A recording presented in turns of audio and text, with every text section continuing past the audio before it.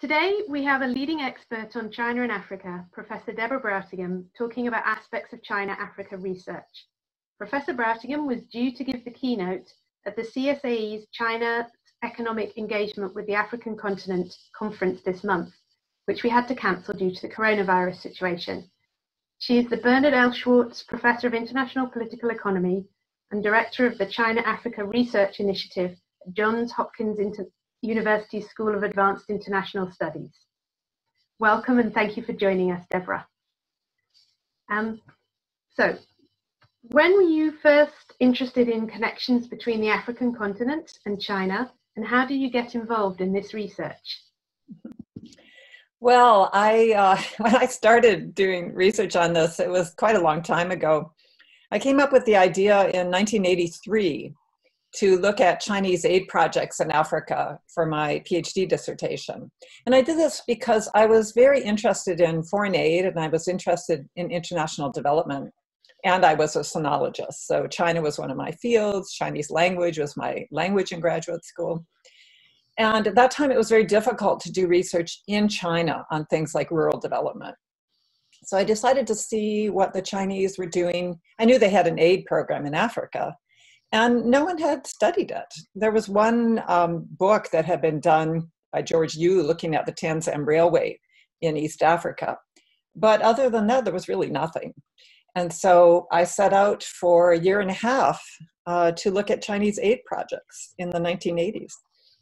And uh, I did that in order to look at several aspects. I wanted to see were they trying to transfer their development model in China to Africa? And I found no, they weren't. Um, was what they were doing working any better than what the West was doing in similar sectors? So comparatively, did they do any better than what than we were doing? And in some ways, there were, um, for example, in agriculture, the Chinese um, approach at at the Chinese model when they were doing it the way they did it in China, it worked tremendously well. But that was not transferable to Africans for a variety of reasons. And, uh, and then I was also interested in why did a Chinese approach that started out as a kind of cookie cutter approach in three different countries, it evolved very differently by the end of each project. And why did that happen? So that led me into a political economy uh, explanation for African agency and African governments making use of the Chinese aid projects for their own nation building and state building uh, projects and plans. So that was my PhD dissertation. And from there, um, I have to say that that became my first book and it just sank like a stone. I published that in the 1990s and nobody was interested in that topic. Oh, um, so I continued doing research on that. I looked at Chinese business networks in Africa, which became a kind of side project looking at Chinese manufacturing business and engagement with African manufacturers. But it really wasn't until about 2006 that, that the rest of the world sort of caught up to, to this fascinating topic that I had been looking at for quite a while at that time. Thank you.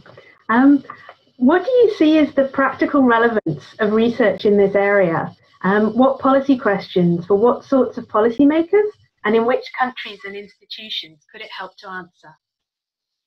Well, those are a lot of questions there. I do think it's um, China is a is of extreme importance geopolitically. I think that's become very clear over the past decade, and particularly even more recently with the Belt and Road Initiative.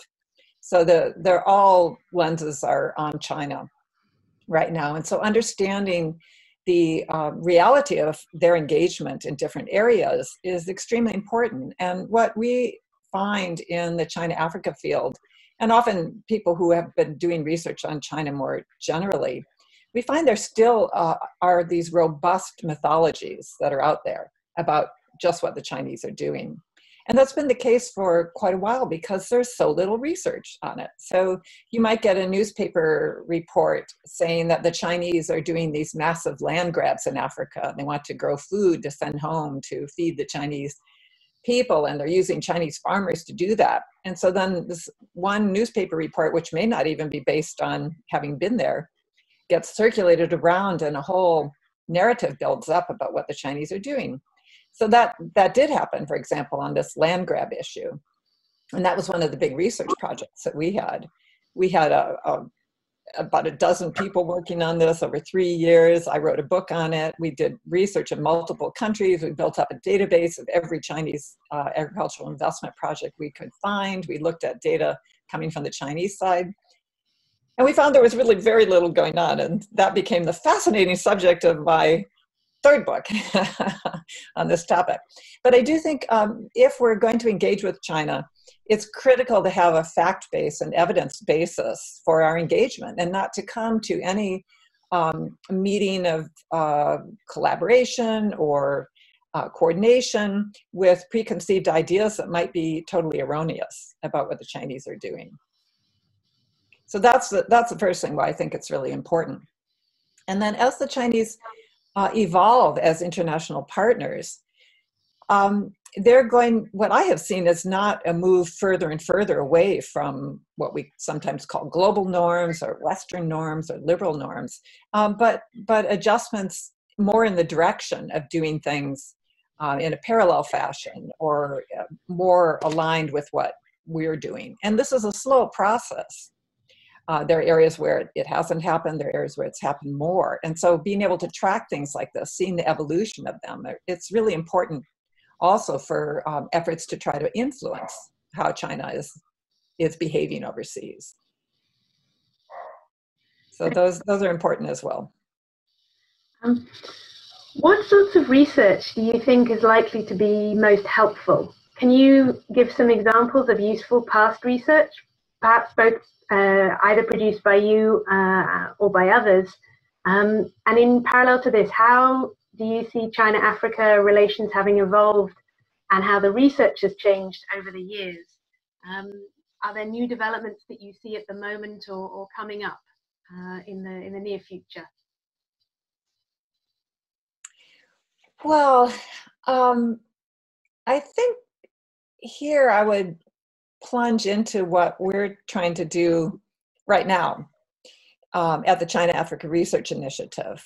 We have been over the past, gosh, since 2006 really, we've been keeping our own database about Chinese lending in Africa. And we're preparing, we were going to have a big public event in May to launch our database to the public. Um, that's unlikely to happen. But we will be making the data available to researchers and policymakers in an interactive database. And I think this kind of thing is, is um, incredibly useful because what, what our initial analysis of, of our data shows, and we've been publishing pieces on this, is that um, Chinese lending in Africa is, is very widely misunderstood. I think there's this general idea that it's Chinese loans that are responsible for the debt crisis, and uh, people who haven't looked into it very carefully have this um, impression. And the first uh, paper that we did looking at that was a year and a half ago, and we found that there were really only three countries in which Chinese lending was sort of overwhelmingly um, the cause of debt distress. And those were um, in Djibouti, the Republic of Congo, and Zambia. So there, you could point a finger to China. But even there, Zambia's, um, the pain that they're feeling from over borrowing is much more to do with Eurobonds because Eurobonds right now, well, there was a point when they were up to 20 um, basis points, 20 percent interest essentially. And I just saw something the other day that because of the coronavirus crisis, they're now at 54 percent. So um, Chinese loans, on the other hand, uh, have been falling in their cost because they're based to uh, based on global interest rates, which are sinking.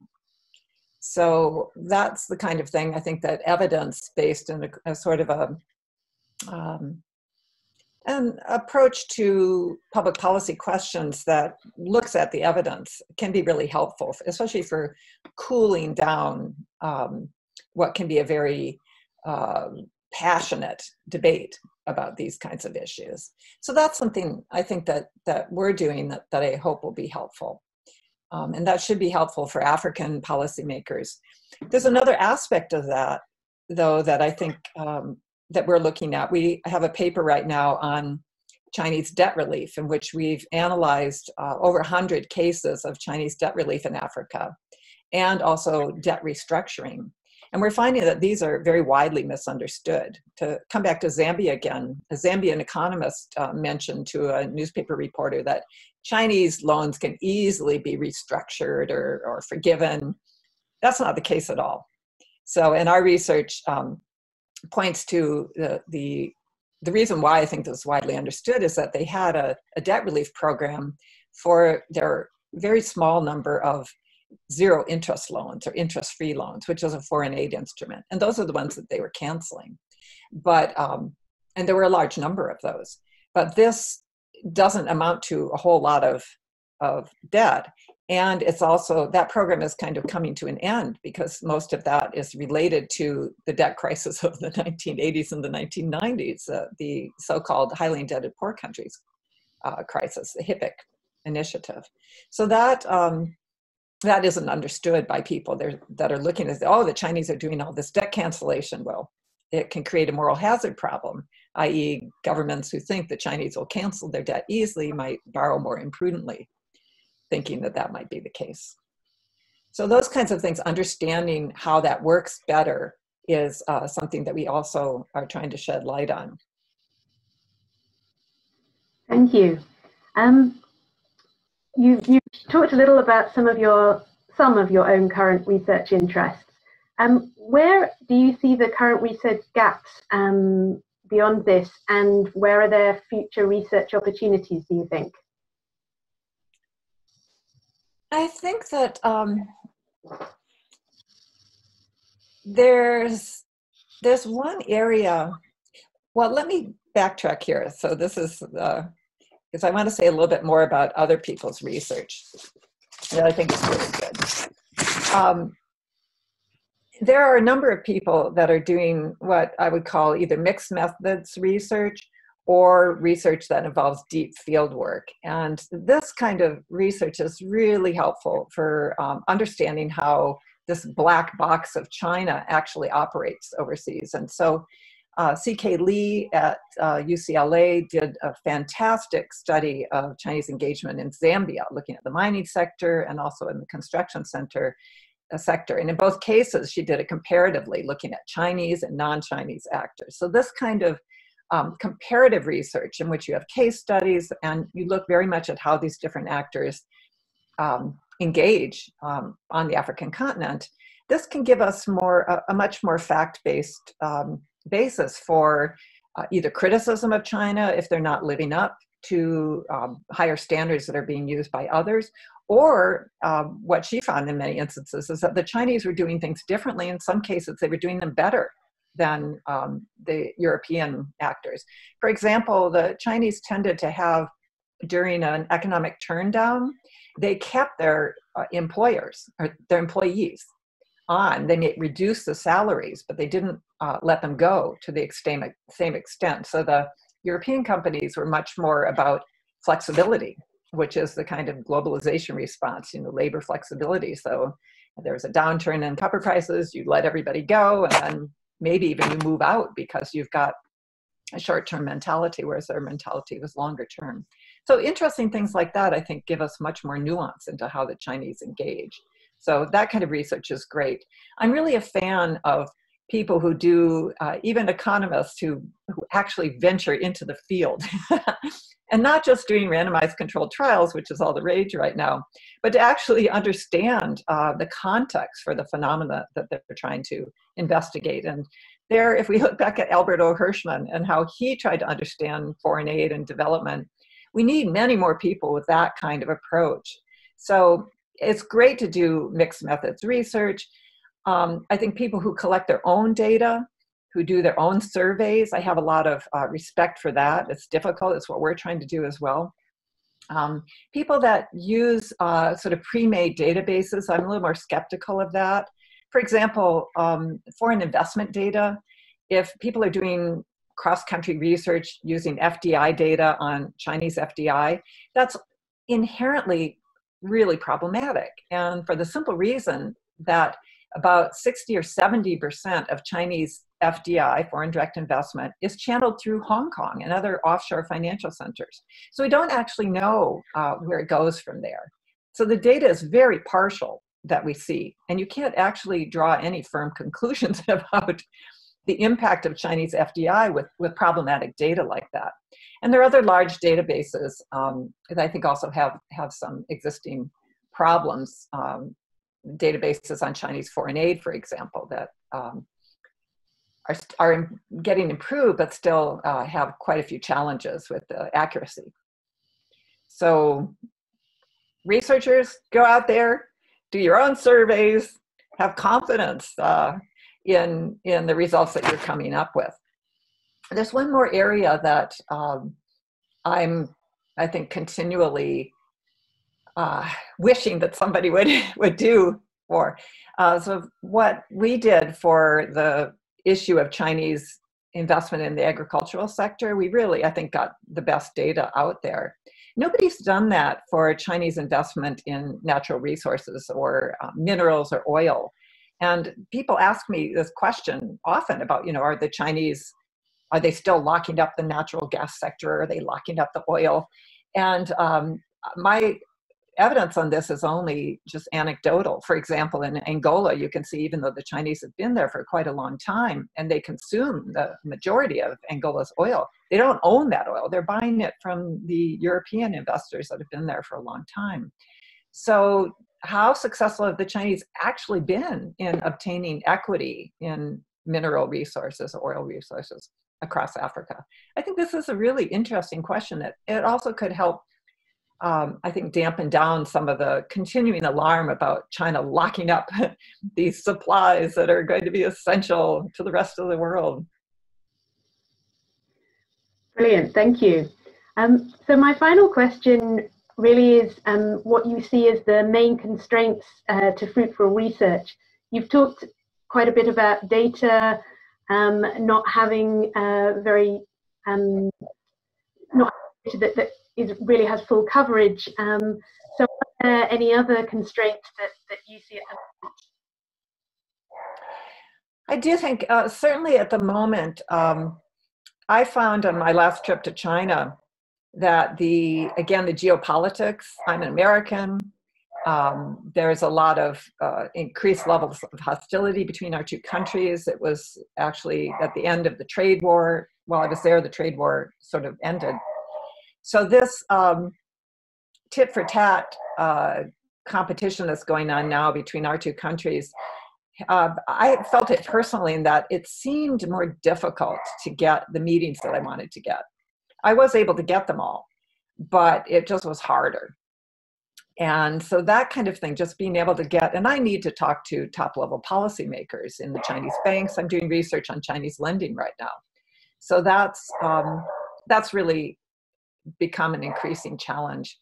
Uh, China's lack of transparency, um, the fact that they aren't, they're, they operate much more like commercial entities. For example, you can't go to a commercial bank and ask to get copies of their loan documents. You know, they don't do that. And the Chinese are like that as well. So it's very hard to get these kinds of things, and it's hard to do research on it because they consider it to be confidential information.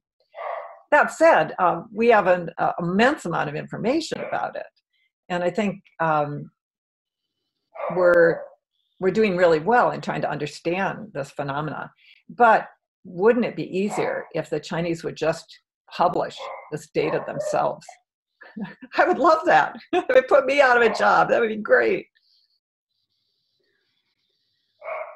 Brilliant. Well, thank you. Thank you very much, Deborah, for talking to me today and uh, discussing some of your um, past and present uh, research in interests in relation to uh, Chinese, uh, the China's relationship with various African countries. It's been fascinating, and uh, thank you for, for taking the time to talk to me today. It's a pleasure. Thank you so much, Lizzie. Okay.